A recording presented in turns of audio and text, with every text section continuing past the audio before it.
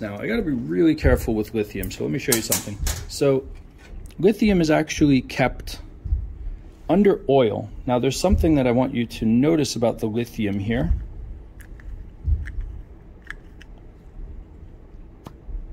Okay. The lithium is floating on top of the oil. Now, I want you to think about that for a second. You can see it the side of the bottle maybe. It's pretty dark in the video. So the lithium metal is floating in oil. Think about what that says about the density of lithium. Oil is less dense than water, so the oil floats on top of the water.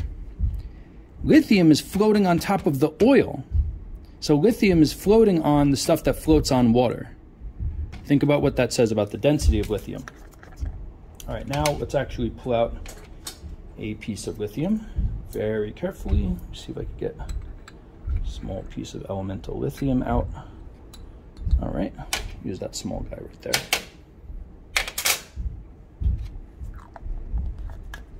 Okay, you going back into your bag. Everything that's really nasty gets its own safety bag. All right.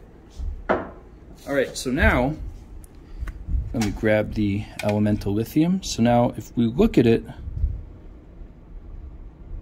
come on camera, focus, please, man. All right, so it looks very dark and that's because it's got a coating of rust on it. So there's something pretty cool that we could do. Let me see if I could maybe, I feel like this camera works better when it's zoomed in on stuff. So let's see. If I take a butter knife, yes, a butter knife. Let me just check this. There's no water on this, right? I gotta be very careful about the water. There we go. Something else was on it. Now it's off. All right, so check this out. I can actually cut the lithium with a butter knife.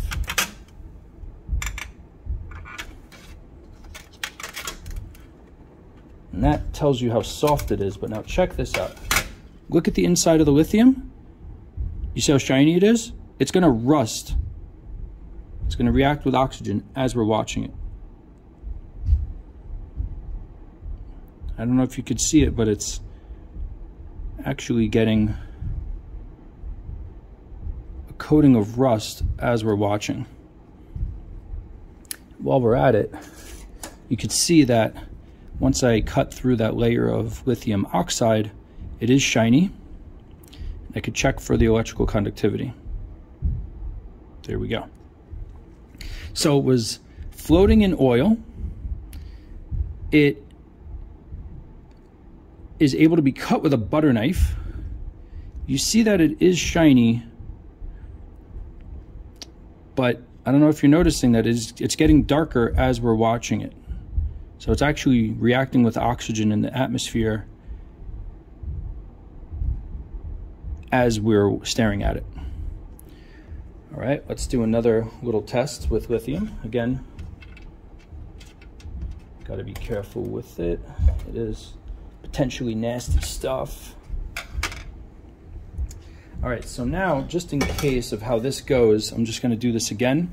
This pan back here has plain water in it. And I'm just gonna put another drop of phenolphthalein, just so if the water turns into an acid, it will stay clear, and if it turns into a base, then we'll notice it turned purple. All right, so let's try something out here. Uh, let me go back to normal zoom. All right, so if I take a small piece of the lithium, I'm gonna try heating it up to see what happens. All right. See how this goes. Maybe I should put the blast shield up. Well, it's only me in here, so. All right, so you know what? I'll bring this closer so we can see it. So there's the lithium metal, and I'm pretty sure I could catch it on fire. It melts first. Let's see. Got my goggles on for a reason. There it goes. Oh, it's gonna catch. almost. I got the lithium hot enough, it does catch fire and it gets extremely hot. Oh.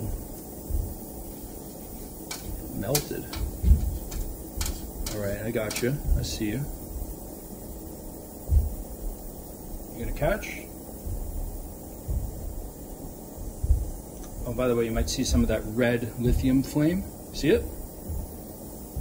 So that lithium is now on fire and it's burning white hot. That temperature is thousands of degrees. I'm about to do something really stupid. I'm gonna put that burning lithium in the water. Oh, time to step back. I don't know if you saw that, but the lithium continued burning. Oh, don't want to breathe in that lithium smoke. The lithium continued burning while it was on the water, and if you notice, the water turned pink because of the phenolphthalein, meaning that the lithium reacted with water, turning it into base. Let me just take a uh, piece of lithium and throw it in the water there. Let's see what happens.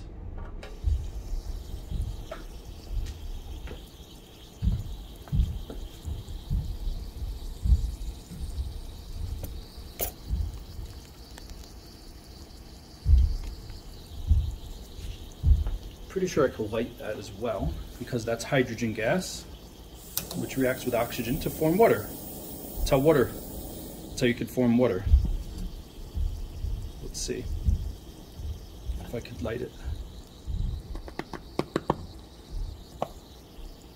Oh, close. Let's try again.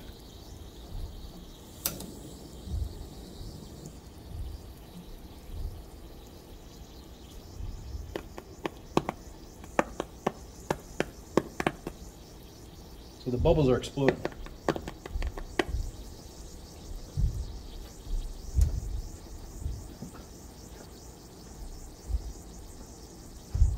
There we go. So lithium is a very reactive element. It gives off that really awesome red flame color, but as you noticed, it uh, melted, caught fire with oxygen. It oxidized just staring at it, touching the air. And you also just saw that it reacts with water, turning the water into a base. And we know that because the phenolphthalein, which is the acid base indicator, turned pink. There you go. There's a reason why you don't want a lithium ion battery catching fire on you. It can ruin your day.